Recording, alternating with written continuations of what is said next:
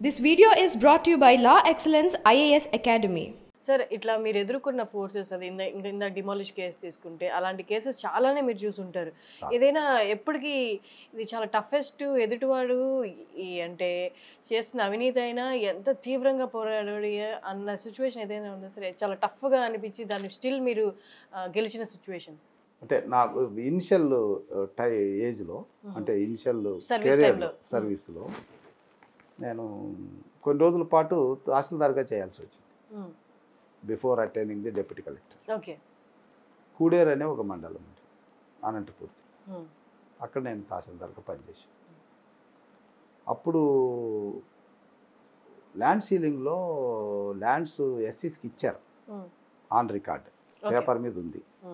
But lands were enjoyed by landlords only so ఆ విషయంలో దాదాపు ఒకటి కాదు రెండు కాదు. దాదాపు ఏడు గ్రామాల్లో ఒక నాలుగు వందల మంది ఎస్సీస్ ఎస్టీస్ బీసీలకి మైనార్టీస్కి సంబంధించినటువంటివన్నీ వాళ్ళ ఆధీనంలో ఉండే వీళ్ళు ఊరికే ఉండేవాళ్ళు. సో నేను ఐ టుక్ ఏ డెసిషన్. వీళ్ళందరి పేర్ల మీద అడంగలు ఎక్కించాను. వీళ్ళే సాగు చేసినట్టు. పంట వాళ్ళే వేశారు. ఎవరు భూస్వాములే వేశారు. ఇత్తనం వాళ్ళే వేశారు అంతా వేశారు.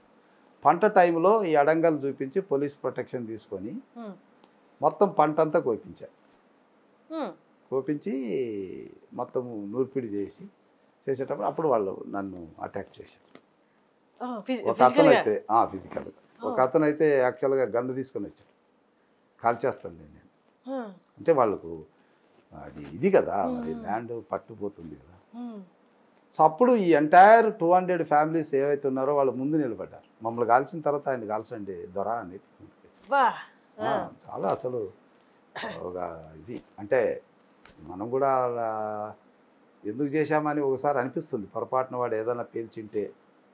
బట్ ఒకటి ఏంటంటే మనం చేసింది మంచిది కాబట్టి మనకు దైవం ఎప్పటికీ రక్షిస్తుంది అన్నది సో వాళ్ళు అలా అడ్డుపడి ఆ రోజు నుంచి ఇప్పటికి భూములు చేసుకుంటున్నారు. ఇప్పటికీ మన వాళ్ళ ఇంట్లో మన ఫోటో ఉంటుంది.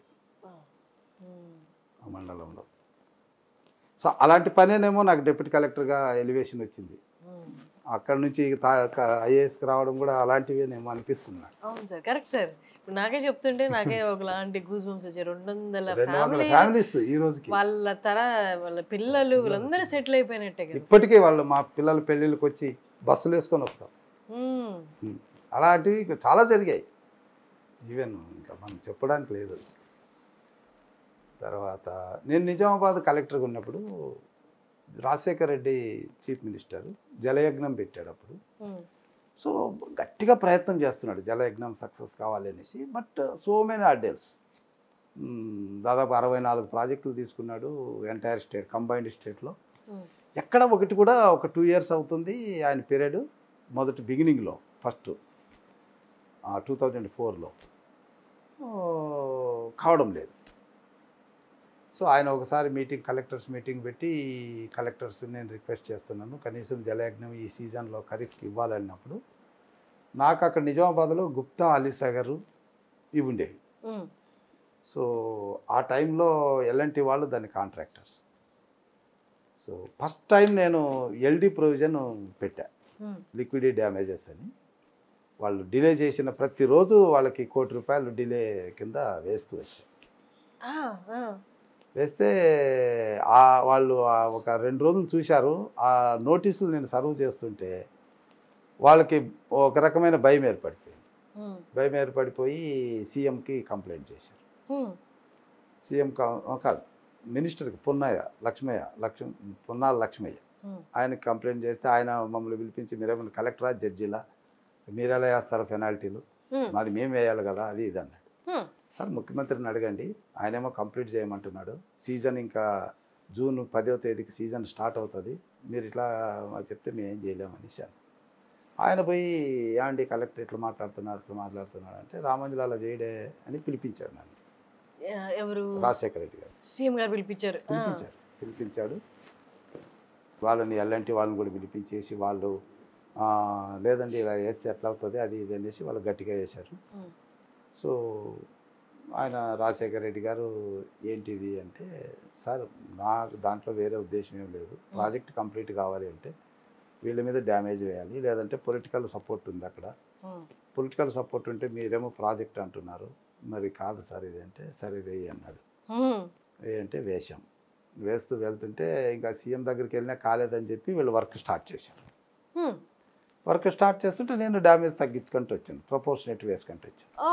All put together project complete అయింది. Twenty five crores liquid damage um, so ఆ రోజు ఆ ప్రాజెక్ట్ ఆ ప్రాజెక్ట్ని ఆయన నీరు రైతులకు ఇస్తూ ఓపెన్ మీటింగ్ జరుగుతుంది. అప్పుడు రాజశేఖర రెడ్డి స్పీచ్లో చెప్పాడు. ఈ ఈ ప్రాజెక్ట్ ఈరోజు మీకు నీళ్ళు ఇవ్వాలంటే మా కలెక్టర్ గారు వీళ్ళకి ఒక ఇరవై ఐదు కోట్లు డ్యామేజ్ చేశాడు. మేము కాంట్రాక్టులకు డ్యామేజ్ చేయాలనే అవసరం మాకు లేదు. సో వీళ్ళు ఈ అది వేశాడు కాబట్టి ఇది వచ్చింది. కాబట్టి ఈరోజు తీసేస్తున్నాము అని ఆయన ఓపెన్ మీటింగ్లో అప్పుడు తీశాడు. అంటే ఆయన ఎంత తెలివిగా ఒక సైడ్ డ్యామేజ్ వేసినట్టే ఒప్పుకున్నాడు ఆ రోజు.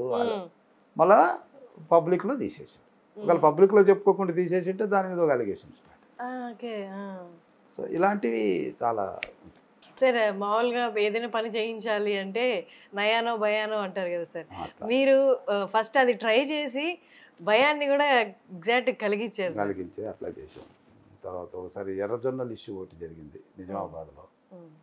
సో అక్కడ ఏంటంటే రైతులందరూ కూడా జొన్నలు పండిస్తారు. అది ఇత్తనం సీడ్.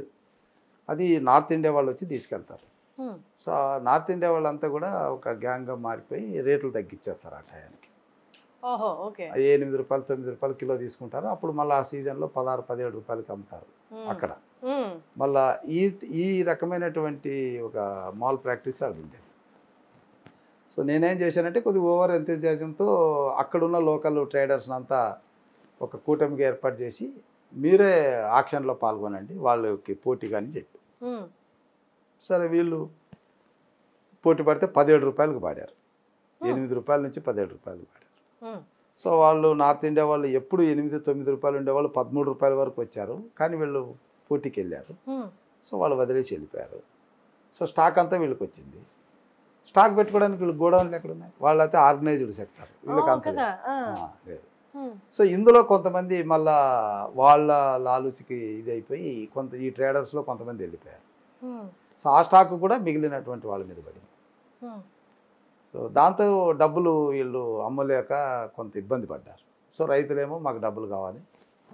పదిహేడు రూపాయలు తిప్పించాలని రైతులు గొడవ చేసి కలెక్టర్ మీద ఇంకా రోజు ధర్నాలు దిష్టి బొమ్మలు తగలబెట్టడం. అంటే ఒక మంచి పనికి పోతే. సో ఒక వారం నడిచింది ఈ ట్రాజడీ. ఫైనల్గా ఈ రైతుల్లో కొంతమంది ఈ ట్రేడర్స్ ఇల్లు కాల్చారు. ట్రేడర్స్ ఎవరైతే సాయం చేయాలని వచ్చాడో అతని ఇల్లు కాల్చారు. కాల్చారు అతన్ని కొట్టారు.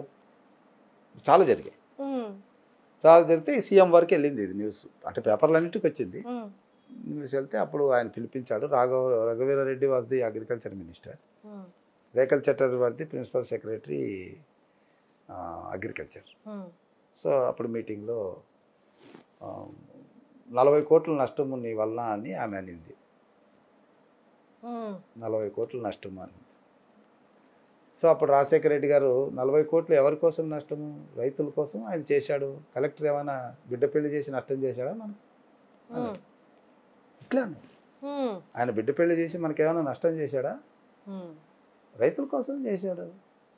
మాఫీ చేయండి అన్నాడండి. So that was the intimacy with CM and district administration ఇప్పుడు అలాంటిది మనం చూడలేము. కలెక్టర్లకు అంత స్వేచ్ఛ లేదు. సీఎంలు అంత ధైర్యం చేసి అలా మాట్లాడేవాళ్ళు కాదు. ఆ. తర్వాత నేను పంచాయతీరాజ్ కమిషనర్గా ఉన్నప్పుడు చంద్రబాబు నాయుడు గారితో ఇరవై ఐదు వేల కిలోమీటర్లు సిమెంట్ రోడ్లు వేసాం ఇప్పుడు మీరు ఎక్కడ గ్రామాలకు వెళ్ళినా సిమెంట్ రోడ్లు ఉంటాయి. ఫస్ట్ టైం అంతవరకు స్వతంత్రం వచ్చినప్పటి నుంచి మనకు ఒక నాలుగు వేల కిలోమీటర్లు సిమెంట్ రోడ్లు ఉంటే ఒక్క నాలుగేండ్లలో చంద్రబాబు నాయుడు గారి టైంలో ఇరవై ఆరు వేల రన్నింగ్ కిలోమీటర్లు సిమెంట్ రోడ్లు వేసాం సో ఆ వేసినప్పుడు సెంట్రల్ గవర్నమెంట్ ఇవ్వాల్సిన డబ్బు ఇవ్వలే. ఇవ్వకపోతే ఈ వేసినటువంటి సర్పంచులు వీళ్ళు ఉంటారు కదా మెటీరియల్ సప్లై చేసిన వాళ్ళు వాళ్ళందరూ గొడవ చేశారు. కమిషనర్ గారు మాటిని చేశాము కమిషనర్ గారు మాటిని చేశాము అప్పుడు Dinesh Kumar chief secretary. Okay.